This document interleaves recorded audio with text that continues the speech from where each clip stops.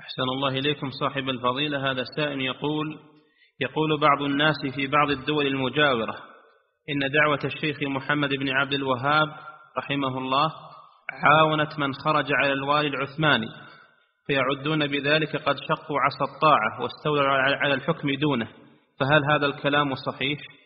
الشيخ دعا إلى التوحيد وهدم معالم الشرك.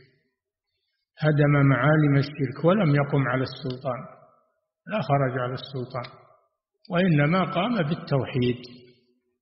وأيضا السلطان ما استولى على بلاد نجد بلاد نجد بيد حكامها وأمرائها ما استولت عليها الدولة وإنما هي بيد أمرائها وحكامها. وأيضا الشيخ ما ما ظهر في هذا يطلب الملك أو نزع يد السلطان وإنما قام بإزالة الشرك ومظاهره. نعم.